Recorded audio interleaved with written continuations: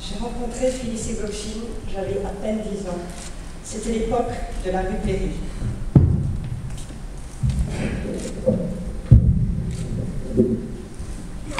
J'ai rencontré Phyllis et Gokchin, j'avais à peine 10 ans, c'était l'époque de la rue Berry. Ils sont tous les deux devenus des grands amis de ma mère, Jean. Gokchin s'est avéré être une figure paternelle tout au long de ma vie.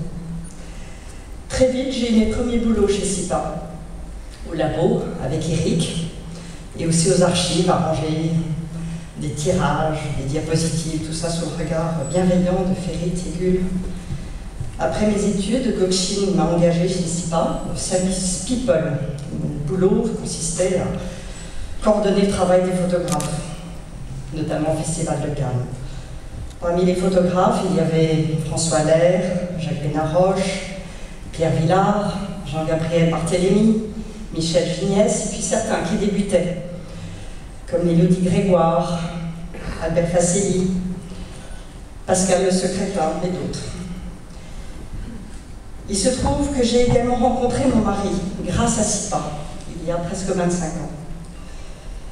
S'il n'y avait pas eu un orgue de barbarie qui passait ce jour-là, rue Roquépine, je n'aurais pas ouvert la fenêtre pour mieux l'entendre.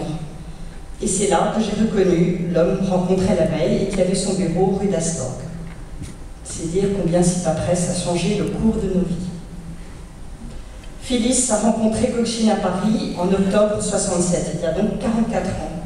C'était au cours d'un vernissage qui était organisé par la célèbre galeriste grecque Iris Claire.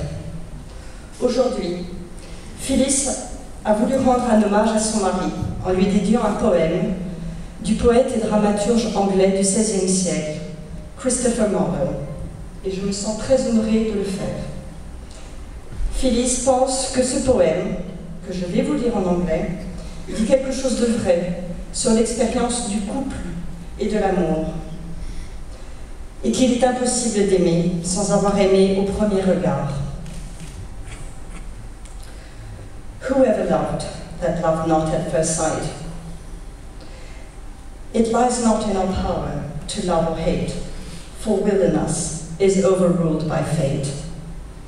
When two are stripped, long ere the course begin, we wish that one should lose, the other win.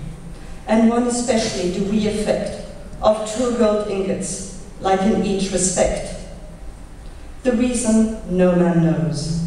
Let it suffice, what we behold is censored by our eyes.